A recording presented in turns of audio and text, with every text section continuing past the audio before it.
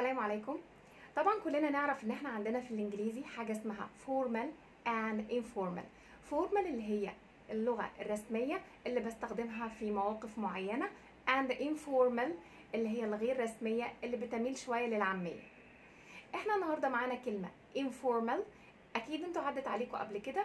أو اللي ما عدتش عليه تعالى نتعرف عليها. كلمة ain't ain't ain't.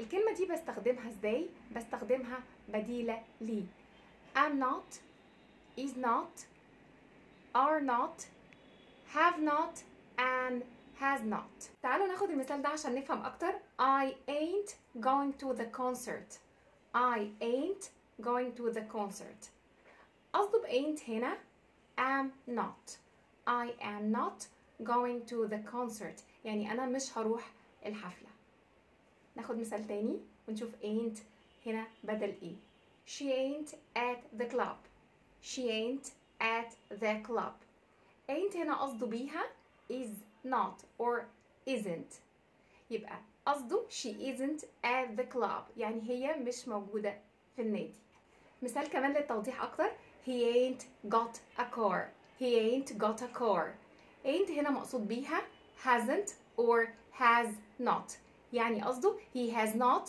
got a car يعني ما عندوش عربية بكده نكون عرفنا ان ain't أقدر استخدمها بدل من am not is not are not has not and have not كده نكون خلصنا حلقتنا النهارده يا رب اكون قدرت افيدكم استفاد من الفيديو ما ينساش لايك شير كومنت and subscribe to my channel don't forget my pages on Facebook Twitter Instagram and TikTok thank you for watching and bye bye